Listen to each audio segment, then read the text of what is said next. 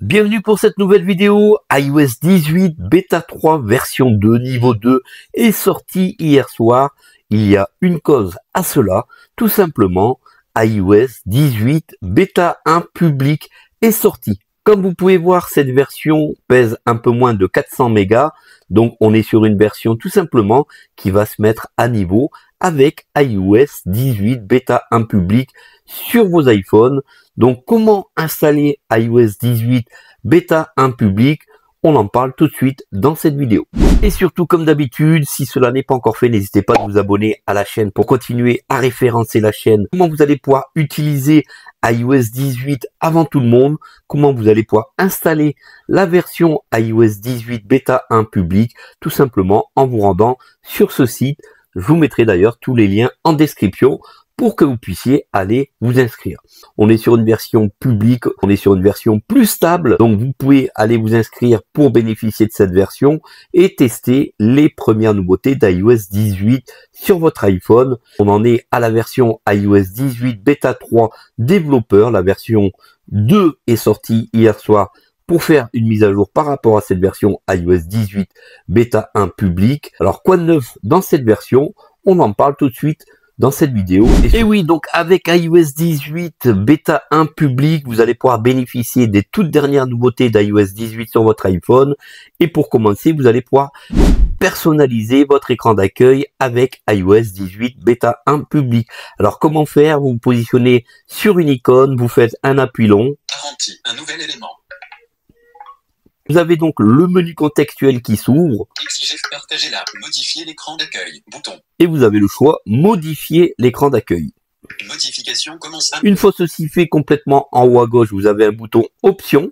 Option, bouton. Vous validez ce bouton. Ajouter un widget, bouton. Personnaliser, bouton. Et vous allez maintenant pouvoir personnaliser l'écran d'accueil. Modification terminée. Tout en bas, vous avez un tiroir qui va s'ouvrir et qui va vous permettre de personnaliser votre iPhone. Automatique. Bouton sélectionné. Sombre. Bouton clair. Bouton. Sélectionné. Clair. Sombre. Bouton. Sélectionné. Sombre. Voilà, vous allez pouvoir donc mettre un mode clair, un mode sombre sur vos icônes. Grande. Bouton. 2 sur 2. Vous allez pouvoir mettre deux grandes icônes pour supprimer les noms des icônes, mais si vous utilisez VoiceOver. Amazon Music. VoiceOver vous lira quand même le nom des icônes, quoi qu'il arrive. Et ça, c'est vraiment super génial. Dites-moi en commentaire ce que vous en pensez.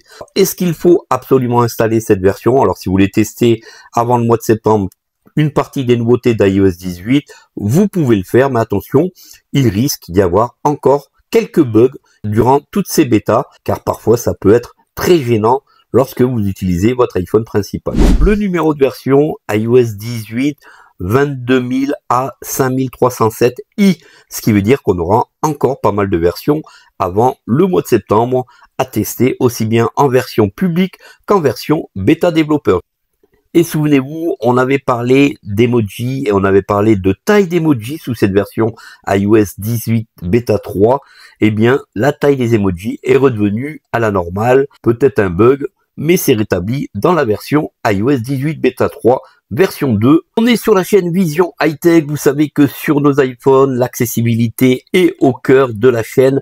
Et on va tout de suite se diriger dans accessibilité et voir toutes les nouveautés iOS 18 bêta 1 public et iOS 18 bêta 3 version 2 pour le côté accessibilité VoiceOver. Accessibilité, bouton. Accessibilité en tête. Personne, vision, VoiceOver, oui, bouton.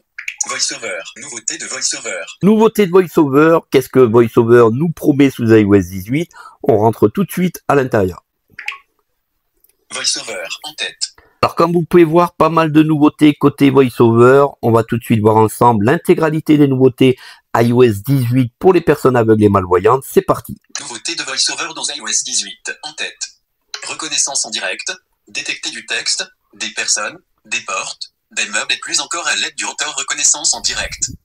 Alors si vous avez un iPhone 12 Pro, 13 Pro, 14 Pro, 15 Pro, vous avez donc, comme vous le savez, derrière un capteur LIDAR qui va vous permettre d'avoir des possibilités de distance et, et ce capteur LIDAR vous permet de faire pas mal de choses lorsque vous êtes en situation d'handicap visuel. Et cette fonction, c'est la possibilité maintenant dans le rotor d'activer ce qu'on avait avant dans la loupe. Style de navigation en tête. Conteneur. Reconnaissance de l'écran. Désactivé. Débit vocal. 50 mots.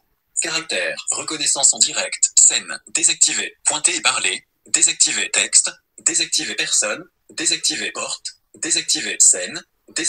On a maintenant dans le rotor la possibilité d'activer telle ou telle fonctionnalité grâce au rotor. On pourra activer par exemple le pointer pour aller lire quelque chose sous le doigt. On a la possibilité de faire la détection de porte alors que avant il fallait rentrer dans la loupe pour avoir accès à ces nouvelles fonctions. Alors attention malheureusement il faudra avoir le capteur lidar pour avoir accès à ces fonctionnalités.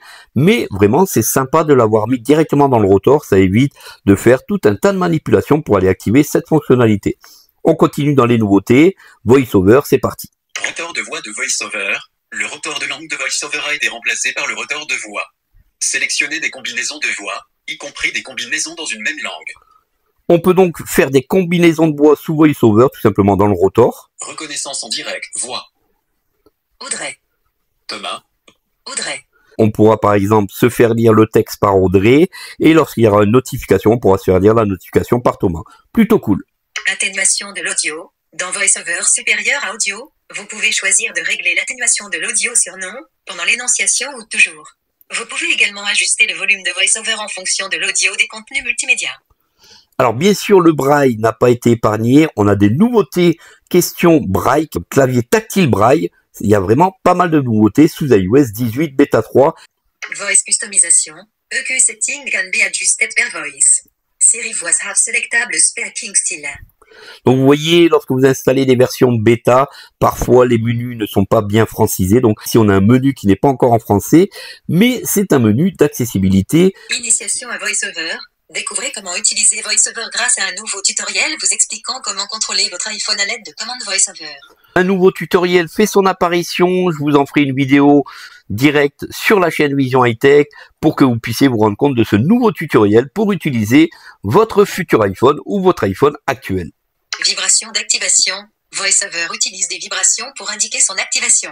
Celles-ci peuvent être désactivées dans VoiceOver supérieur à audio supérieur à son et vibration de VoiceOver.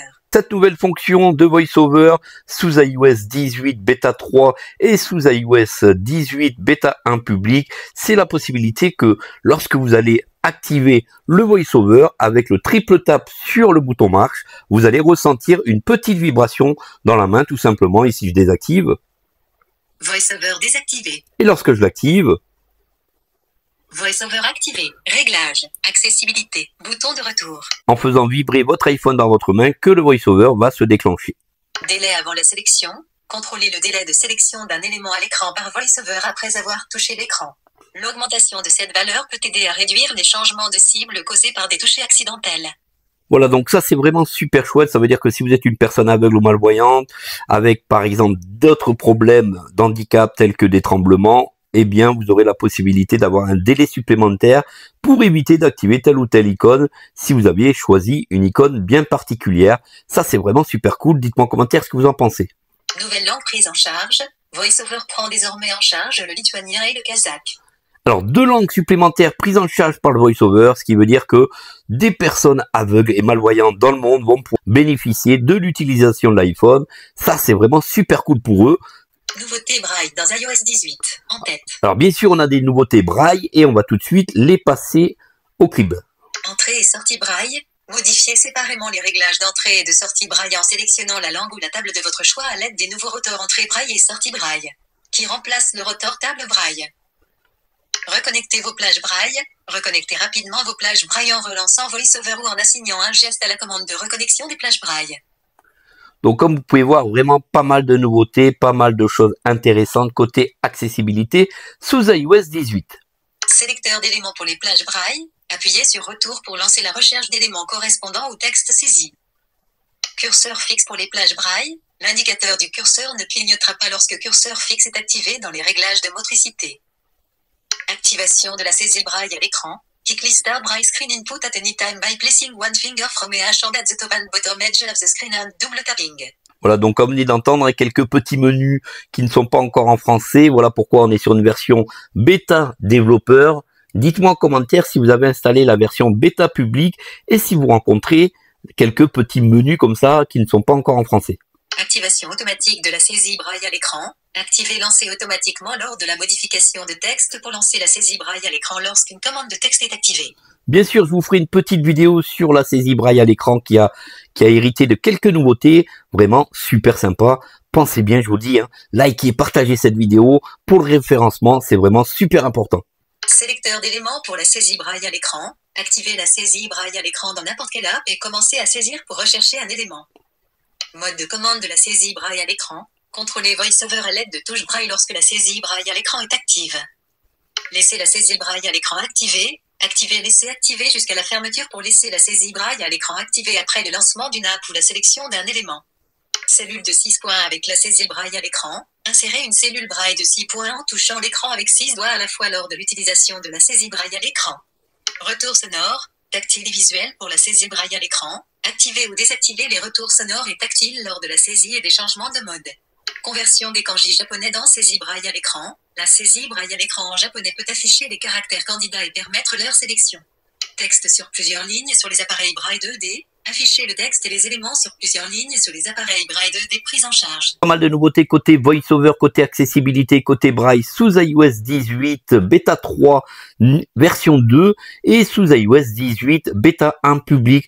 Dites-moi en commentaire ce que vous en pensez toutes ces nouveautés. Mais attention, avec ces nouveautés, il y a quand même quelques bugs à éviter. Surtout, surtout, n'allez pas activer cette fonction sous iOS 18 bêta 3 développeur et sous iOS 18 bêta 1 public, car votre iPhone n'émettra plus du tout de bruit, vous n'aurez plus de vocalisation avec VoiceOver et vous n'aurez plus la possibilité d'utiliser les boutons de volume, etc. Je vous montre tout de suite pourquoi. C'est celle-ci. Raccourcis vocaux. Non. Raccourcis vocaux. Alors attention, si vous activez raccourcis vocaux, eh bien vous n'aurez plus de son avec votre iPhone. C'est un gros bug depuis la sortie d'iOS 18. N'activez surtout pas cette fonctionnalité car votre voiceover va disparaître. Il n'y aura plus de son. Il faudra donc ensuite revenir dans raccourcis vocaux, le désactiver et redémarrer votre iPhone pour récupérer le son. Donc attention, ça peut être assez compliqué si vous activez cette fonctionnalité, cette nouveauté iOS 18, les raccourcis vocaux. N'utilisez pas les raccourcis vocaux pour l'instant, il y a un gros bug à l'intérieur. Alors, une des grosses nouveautés aussi à iOS 18, c'est celle-ci. Musique tactile. musique tactile, si vous utilisez Apple Music, si vous êtes malentendant, eh bien, vous aurez la possibilité d'utiliser, donc, de ressentir des vibrations dans votre iPhone au rythme de la musique. Je trouve ça assez cool. Dites-moi en commentaire ce que vous en pensez. Toujours côté accessibilité, puisque c'est une vidéo accessibilité, on a maintenant la possibilité pour les personnes à mobilité réduite d'avoir accès à Suivi du regard. Non. Bouton. Suivi du regard, ça veut dire que les personnes vraiment alitées, les personnes ayant de gros problèmes de santé, vont pouvoir utiliser leur iPhone avec le suivi du regard qui fonctionne magnifiquement bien. Lorsqu'on rentre à l'intérieur, Suivi du regard. Suivi du regard. Bouton. Désactivé. Le suivi du regard vous permet de contrôler votre appareil en utilisant uniquement vos yeux. Pour cela, l'iPhone doit être placé sur une surface stable, à environ 30 cm de votre visage. Lorsque vous activez cette fonction, vous avez une petite animation ici que je vous mets sur votre écran. Vous n'avez qu'à suivre avec vos yeux cette animation et au fur et à mesure, tout simplement, cette animation va bouger et va se paramétrer au fur et à mesure que vous regardez cette animation.